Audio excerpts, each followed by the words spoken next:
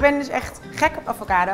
Dick, jij bent chefkok, eigenaar van twee sterrenrestaurant de Treeswijkhoef in Waalre, waar we nu zijn. Dus ik denk dat jij mij wel wat nieuwe smaakjes kan leren. Ik heb hier drie voorbeelden. Ten eerste de avocado, gecombineerd met uh, ansjovis. De ansjovis is heel zout en sterk van smaak.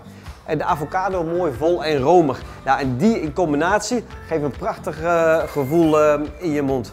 Deze gaan we combineren met uh, wasabi. De avocado past heel goed bij de Japanse keuken. Het verzacht de smaak van de wasabi. Zelfs de mensen die niet zo van wasabi houden, vinden het dan ook in één keer heel erg lekker.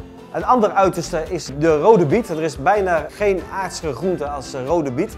En daarom komt dat contrast juist zo mooi over met die avocado. En het kleurt mooi. Rood en groen kleurt altijd goed. Ja.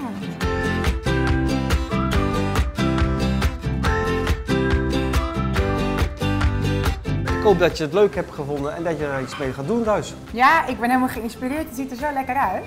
Ik ga er vaak mee aan de slag.